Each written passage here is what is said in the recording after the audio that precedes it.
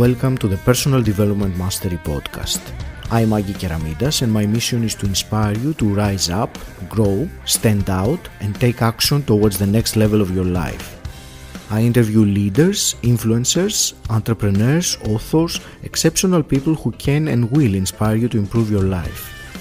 Tune in for two episodes each week and make sure you subscribe to the podcast to get the episodes as soon as they are released. This is the second half of the conversation with Paul Shepherd. If you haven't listened to the first part, tune in to the previous episode 107. Paul, I would like to ask you also about your uh, your uh, mastery course. What you said that you've designed it from your uh, experience, from all the knowledge that you have accumulated with uh, your.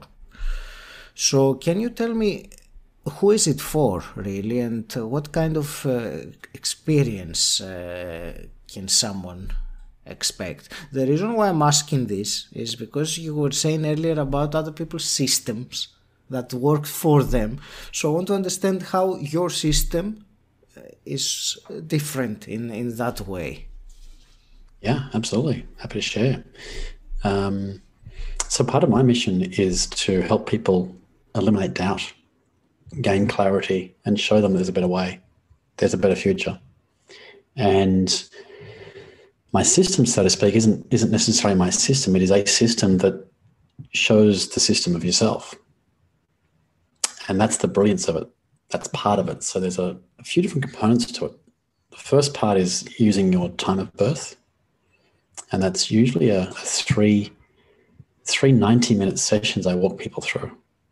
And I explain to them those 16 success codes, you know, who they really are. And the amount of clarity that people get from that is, I mean, the comments I get is just, it's, it's mind boggling. They're, they're absolutely fascinated. There's, and there's so much content. Um, that's very specific to the individual. You know, and to give you some context here, Agi, there's, you know, it's it's not like there's you know 16 categories that people can fall into, or five or 10 or whatever it is. There is a number of with 54 digits at the end of it. right, that's more than any person that's uh, more than the total number of people that have walked the planet. So it's a it's a it's a system that shows you your own system. In other words, it's unique to every individual. And it's just a matter of me interpreting that and going through the framework to give that to you. And once we've done that, we then start to look at what the passions are and interview process where we start to see people's energetic responses and then some training so that you can start to practice this intuitive response, start to get a handle on it, and start to train yourself and a whole bunch of exercises to then tap into that and then kind of be on your merry way so you can start living the life according to who you truly are and no longer start trying or no longer trying to fit into a definition of success that society said you should have right go to school get a job you know university get married have kids buy a house maybe write a book and die right um, because divorce rates are ridiculous in terms of the numbers globally the amount of people that are unfulfilled, even though they make a lot of money. And I'm sure all your listeners have are in that same boat, right? They might be at the beginning of their journey. They might be well into their journey. They might be successful financially, but there's something missing. Or they might be just getting started. And I think if we start with a, with a definition of success that tackles all aspects of who we are, not just the monetary or the material, but the deep fulfillment as to who we truly are, then we can actually invest our time into all of those areas, not just not just one. So that's essentially what my system does. It, it's it's a combination of different tools that I came across that unveils the the individual, and it's unique for everyone. And once you've experienced it, you will know if that's right.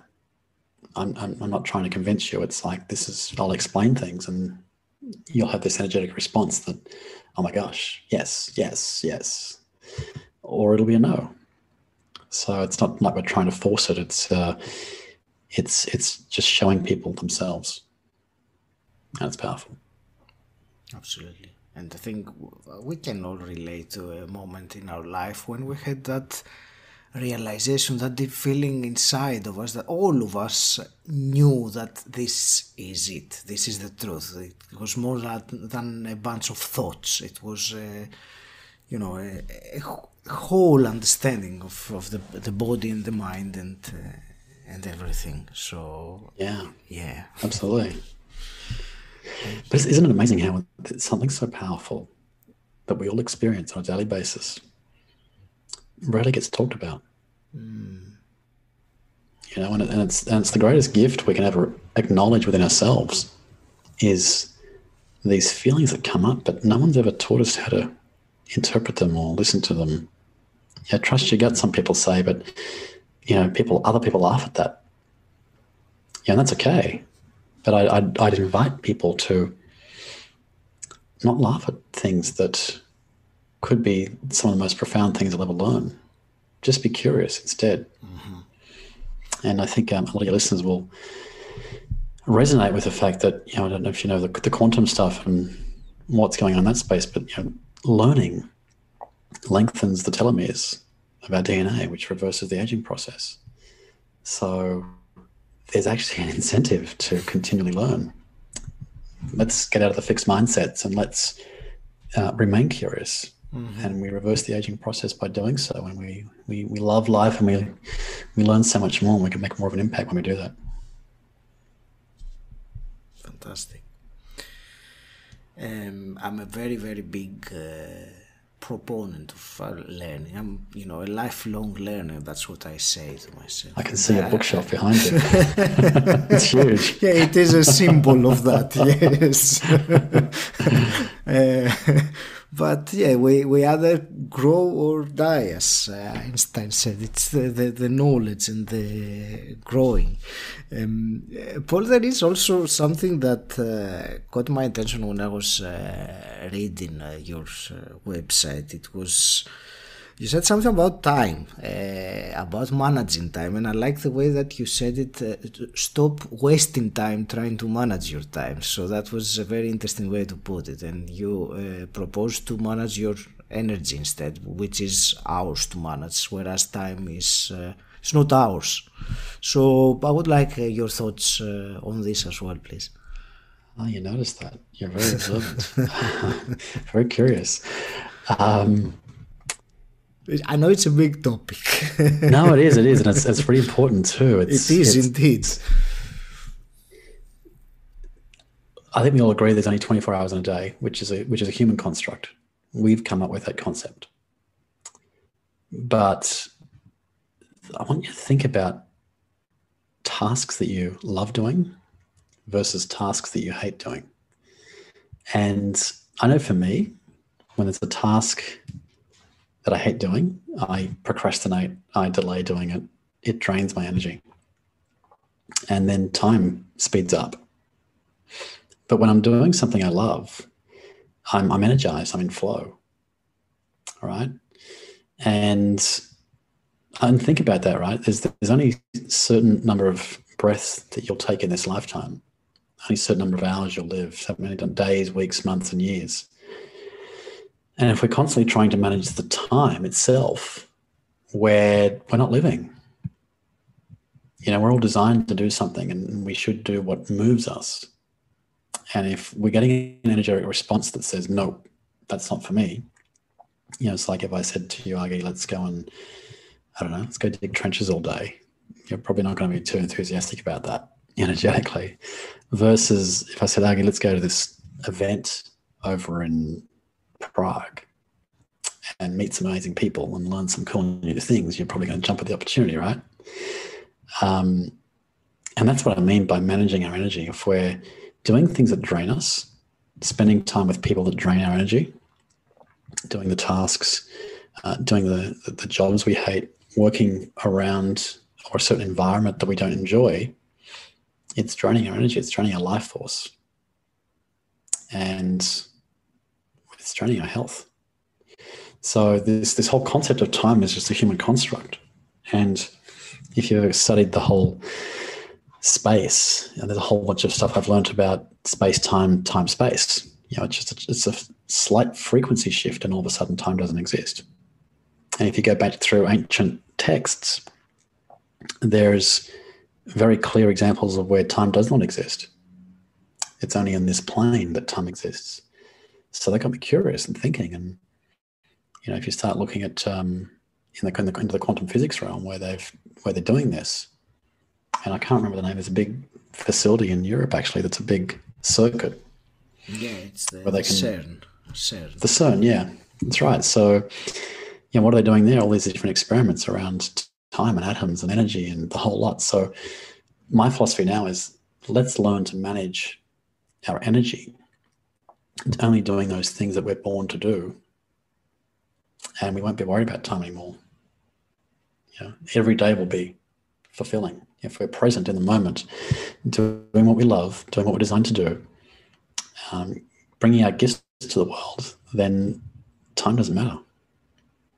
How many people sit there and watch the clock at work going, I can't wait till five o'clock?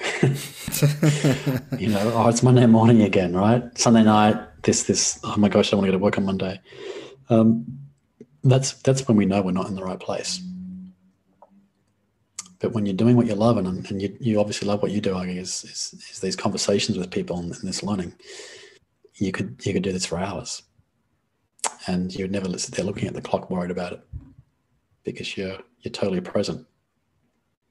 So that's that's the simplest way I can explain it for now, without going for two hours. But, um, yeah. no, thank you for explaining that. It makes sense, and uh, I believe people can uh, relate to to that, especially the things we uh, like doing versus the things we don't like doing, and how the time feels and uh, everything that uh, comes with it. mm. Absolutely. Uh, so, Paul, we have talked about all sorts of uh, different things, and your knowledge is and what you shared is truly fascinating and i can resonate with your and i think your main message comes across, across loud and clear for me anyway. I could i could get this kind of uh, you know realize who you truly are and then you can be the best that you can because you go with what you truly inside you and uh, you fulfill you feel fulfilled and you fulfill what is meant for you so that, that's how i let's say, interpret the message that you have been uh, sharing uh, with us. So I, I, hope I'm not very much off. Uh, I would like to. I would like to ask also some uh, quick fire questions to start uh, wrapping something up. So, and this the first one i always ask i would be very much interested in your point of view because of your 25 year experience. So what does personal development mean to you now? Hmm, that's a good question. It's changed over the time. Uh, i would say it's still about moving forward in life. So expansion personal development is still about the expansion of my um, my consciousness mm-hmm. and the expansion of my comfort zone in a succinct way. That's as simple as I can put it. Thank you. Um, let's say you could go back in time and meet your 18 year old self. What's the one piece of advice you would give the young Paul?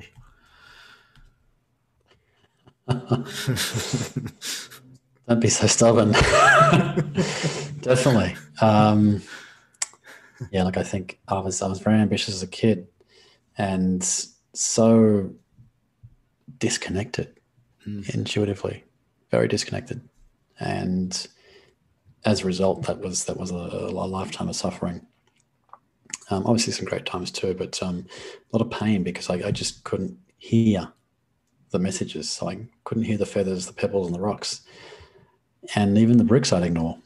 Mm. Right. So um, that's my biggest lesson is to go back and say, hey, when these things happen, they're, they're signs. Listen to them and pivot. Don't keep going. That, that, that for sure. Solid piece of advice, indeed. uh, say you had a, a, magic wand and you could wave it and change something in the world as it is today. Uh, what would that be? Oh, my my ego would say, let's just wave, wave the wand and make COVID disappear. But uh, my spiritual side knows that that's also something that's meant to happen as well. We are exactly where we are for a reason. Mm-hmm. Magic wands, look, um, to make more impact. You know, I have this this belief now that I understand how things work on a much deeper level. And I'm not saying I know everything because I'm, I'm still learning. I'm still a student of life and I always will be. But, you know, I, I'd love to be in a position where I could help a lot more people with with these messages and things that I've learned. Mm-hmm. You know, I think we're all it's a lot of frustrated people walking around the world broadcasting incoherent frequencies into the field, and that causes conflict. It causes uh, static, if, if you will. And if, if even just a small percentage of population could be living authentically mm-hmm. and doing what they're designed to do and broadcasting coherent frequencies, that would act as a ripple effect. You know, the 100 people impact a 1,000 people, that impacts 10,000 people, that impacts a million people. Mm-hmm. So I'd like to be doing more of that. And that's that's how I can contribute and make the world a better place. You you said about uh, COVID, the situation being as it is for for a reason. And even though I, I, I completely agree and I understand, uh, but would you like to expand on this? yeah, look, I think I think we're souls having this experience, this human experience on in, on this plane at this point in time, mm-hmm. and I, from what I've learned now through many different teachers, mm-hmm. you know, we've all chosen to come here you know, this isn't like we're victims of this catastrophic event. This is all yeah. part of the school of life. You know, um, it's very spiritual. It's very out there. It's very kind of woo woo. But I believe that we're all here for a reason. Mm-hmm. You know, and things are exactly as they need to be right now. So, if we take the kind of the victim hat off, the victim mask, and take full responsibility for who we are and why we're here, mm-hmm. then, you know, as frightening as it might be, and, and what's coming down the pipe, um, and what the future may look like, I think it's there's always a, a, silver lining as well. There's there's always two sides. The light needs the dark. The dark needs the light, and we're going through this experience because there are lessons for us all, and I think that's why we're all here mm-hmm. to to evolve. And uh, anyone that is here is obviously here for that reason. Otherwise, we wouldn't be here in the first place. So that's my understanding of our reality right now. Certainly. Paul, is there uh, any big breakthrough that you had uh, recently that you would like to share with us? Surrender. That was something I learned a few couple of years ago now, mm-hmm. and I read Michael Singer's book, The Surrender Experiment. Yes, and that really made me reflect. That was a big, big lesson for me, actually.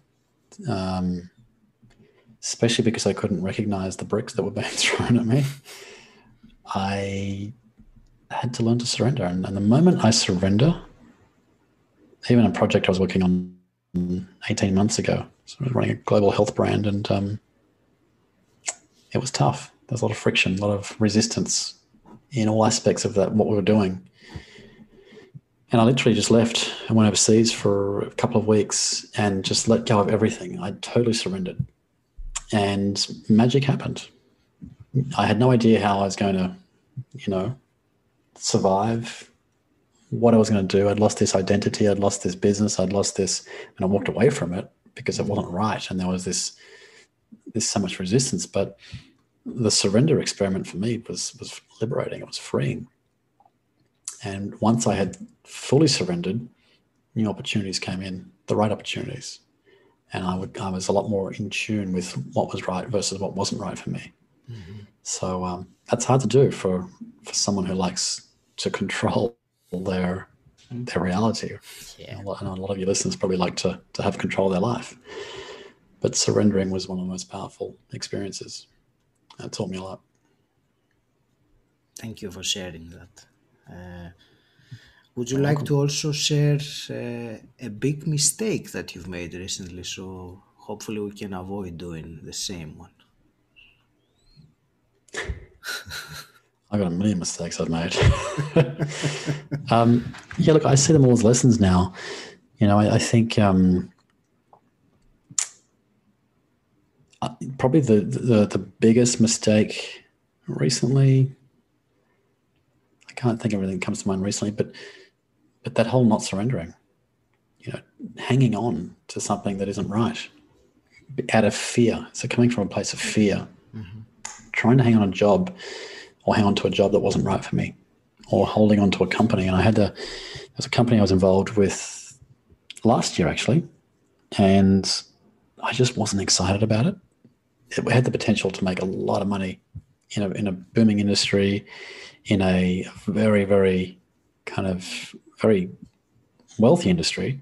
Mm-hmm. But I just wasn't compelled. And I, and I stuck around for 12 months, mm. knowing it wasn't right, knowing what I know about the intuition and everything else. And I love the people I was working with, but then there was this, there's this burning inside of me going, it's not right for you, Paul. It's not right for you. It's not right for you. And I wasn't excited about showing up for the meetings and I wasn't excited about doing the work. And I just, and the moment I said, no, I can't do this, was when I'd realized I'd, I'd, I'd made the mistake of staying into this business for, for a year when I should have said no to begin with. Mm-hmm. Even knowing what I know now about listening to my intuition. So shame on you, Paul. But um, yeah, so we still make mistakes, even though we, we know these things. But the temptation of, you know, how this could make an impact, having the the income that could make an impact on so many people's lives mm. was was tempting, right? So um, yeah, that was a that was a recent mistake that probably middle of last year I walked away from. Mm-hmm. Thank you. Lucky it didn't cost me a fortune like previous mistakes. um, Paul, is there anything you were hoping that we would discuss about today and we completely missed it? No. Funny enough. I think my intention with our conversation today, Agi, was to just connect and, and go with the flow. And I think we're on a similar journey. When reading your story, there's so many parallels between our stories, you know. And uh, just from the fact that, and the highlight was the fact that one of your friends became a shaman when you're mm-hmm. going through being a dentist. Um, very similar story to to what I went through as well. Mm. You know, seeing and meeting shamans and healers so um, no, it's been a pleasure and an honor to, to have this conversation with you. And, you know, I'm sure we'll have many more conversations in the future. Mm-hmm. So no, thank you. I, I, and I'm sharing this with everyone listening that I felt instantly like I've known you when, when we, it's the first time we, we speak to each other, but I felt like, uh, we've known each other. Who knows? Maybe we Likewise. have. um, Past life somewhere for sure. Paul, uh, I'm, I'm uh, very uh, big on giving to the listener always uh, something actionable. Uh, and we've, you've already mentioned a few bits, but uh, now that we're towards the end, emerging from this conversation, give to the listener one actionable item they can implement straight away or tomorrow to take their life to the next level. Yeah, I, I, my biggest takeaway would be stop chasing something outside yourself stop pursuing the next best thing, the next shiny object. Entrepreneurs, we've got that constantly. I think um, the biggest lesson for us all is to go within. And you can start that today by downloading a meditation, for example. Mm-hmm. You can start practicing some of the examples I mentioned around calibrating your intu- intuition, right? So it could be a, uh, when it comes to dating, it could be with your colleagues, it could be just watching people walk past the street you know, it could be walking into a restaurant or a cafe going, hmm, I wonder what that person's going through. And if you can have the conversation with them to get some sort of feedback, you can just set up really simple experiments. You know, um, I wonder, you know, is that person having a good day based on their energy levels? Mm. And you can ask them, hey, good morning, good evening, are you having a good day? And it might jolt them at first, but um, that's a really simple thing you can do to start to listen to yourself and and and trust that. And the more that you practice that the more you will trust it. And the more you trust it the better the decisions you are or the better decisions you'll make and the faster you'll get on your own path in life. And then you'll know which programs are right for you And you'll find what we all look for in, in our life, which I think it is fulfillment. Many people say happiness, but I think what they mean is fulfillment rather than happiness, yeah. which is the uh, and it's been a. I agree, Agi. uh, Paul, how can uh, people find out more about you and connect? Yeah, uh, Paul B for Bravo Shepherd, uh, as in the biblical text. So Paul B Shepherd, S H E P H E R D dot com. There's a I got a blog there. I've got a whole bunch of downloads for people, some quizzes, and very soon, and probably by this time this has been published, we'll have a group, a community online where people can come and learn more about some of these tools mm. uh, for free. So I'd recommend just subscribing to my mailing list, uh, downloading some of the content on my site, and stay connected because there's a lot of a lot of valuable stuff that I want to share over the coming months and uh, years. And it's the best place to start. Just uh, just get in contact, one way or another. Fantastic. Um, uh, before we go, I want to share uh, something uh, that I found uh, um, out of this conversation, my own takeaway, and I already mentioned it, but I will reiterate it. I think it came across very clearly throughout our conversation, your message. So for me, it was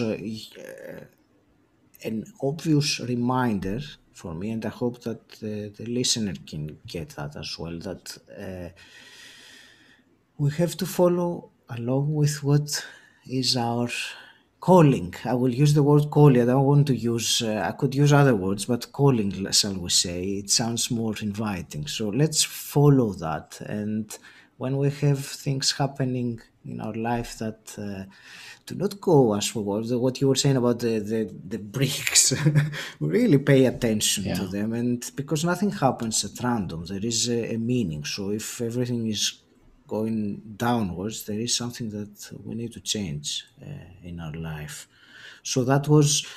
I just reiterated it, Paul, because it is uh, something that I have personally felt, and it's important for someone to realize that uh, misfortunes or accidents or uh, illnesses, serious ones, I mean, uh, happen as it, it is a warning or a sign or something to pay attention to. It's not, you know, a, a random event that, oh, it happened and uh, because I'm unlucky.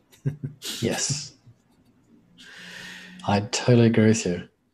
And that's that's empowering, isn't it? When you can when we can look at these events or circumstances as lessons as opposed to mm. punishments. Yes. Um, we move away from being a victim and into an empowered state of being the the master of our own destiny. Mm-hmm. And uh, that is that is truly empowering. If if in fact that's a lesson, that's a key takeaway for anyone listening to this one as well is is uh, if you can recognize those key events, those those traumas in life, those setbacks, those painful times as corrections, if if you will, mm-hmm. um, you'll be empowered as opposed to being a victim. Mm. And yeah, you can shape your destiny that way. I agree. Paul, I want to thank you very much for your uh, time and for the conversation we had today. And it was exceptional. I really enjoyed it. Uh, I wish you all the very best with uh, your life and your mission. Um, any parting words? I'd like to thank you too, Agi. It's been an absolute pleasure. Um, and yeah, I do feel we're connected on a, on a different level and have done in the past somehow. There is definitely a connection there. So I wish you and your listeners all the best and um, just invite everyone to to tune in, tune into yourself. So um, thank you for your time and thank you for your listeners' time. And I wish you all the best. Thank you for listening. If you enjoyed it, please subscribe and rate Personal Development Mastery on Apple Podcasts and also share this episode with someone who you think will benefit from it. If you want to become part of an exclusive community, gain access to unique content, and at the same time support this podcast, then become my patron. The link is in the show notes or you can type bit.ly slash pdmpat. If you want to know more about what I do and how I can help you, join my Facebook group Personal Development Mastery. Again, the link is in the show notes or you can simply type bit.ly slash pdm group. And until next time, stand out, don't fit in,